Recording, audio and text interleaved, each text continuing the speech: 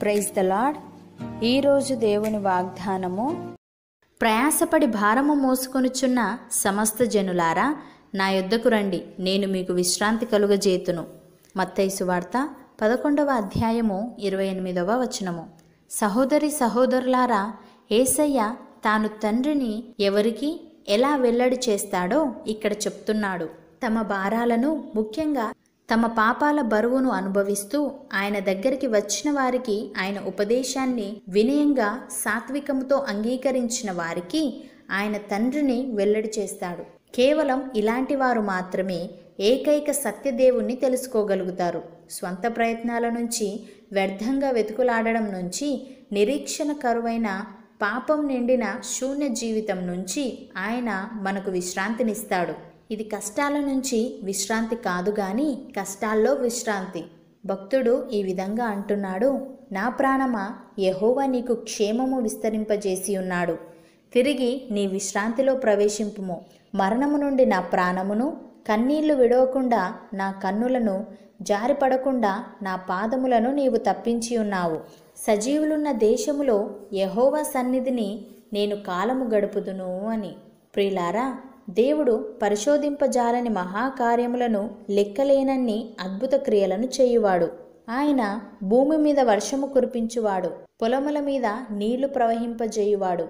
అట్లు ఆయన దీనులను ఉన్నత స్థలములలో నుంచును. దుఃఖపడు వారిని క్షేమమునకు లేవనెత్తును. అపోస్తలుడైన పౌలు తెస్సలోనికయలకు వ్రాస్తూ ఈ విధంగా అంటున్నాడు.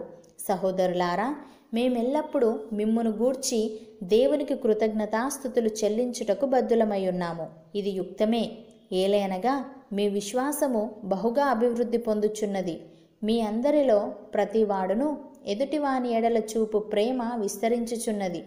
అందువలన మీ హింసలన్నిటిలోనూ మీరు సహించుచున్న శ్రమలలోనూ మీ ఓర్పును విశ్వాసమును చూచి మేము దేవుని సంగములలో మీ అందు అతిశయపడుచున్నాము. దేని కొరకు మీరు శ్రమపడుచున్నారో ఆ దేవుని రాజ్యమునకు మీరు యోగ్యులని ఎంచబడు నిమిత్తము మీరిట్లు ఓర్చుకొనుట దేవుని న్యాయమైన తీర్పునకు స్పష్టమైన సూచనయై ఉన్నది.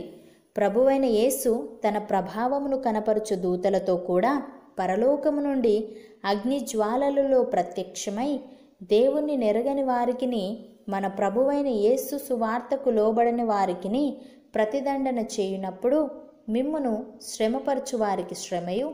శ్రమ పొందుచున్న మీకు మాతో కూడా విశ్రాంతియు అనుగ్రహించుట దేవునికి న్యాయమే అని.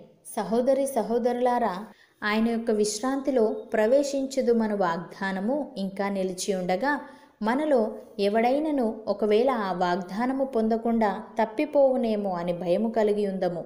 వారికి ప్రకటింపబడినట్లు మనకును సువార్త ప్రకటింపబడెను. గాని వారు వినిన వారితో విశ్వాసము గలవారై కలిసి ఉండలేదు గనుక విన్న వాక్యము వారికి నిష్ప్రయోజనమైనదాయను. కాగా జగత్ పునాది వేయబడినప్పుడే ఆయన కార్యములన్నీ సంపూర్తి అయ్యున్నను ఈ విశ్రాంతిని గూర్చి నేను కోపముతో ప్రమాణము చేసినట్టు వారు నా విశ్రాంతిలో ప్రవేశింపరు అని ఆయన చెప్పిన మాట అనుసరించి విశ్వాసులమైన మనము ఆ విశ్రాంతిలో ప్రవేశించుచున్నాము. అవును అన్నవారు నాతో పాటు ప్రార్థనలో ఏకీభవించండి.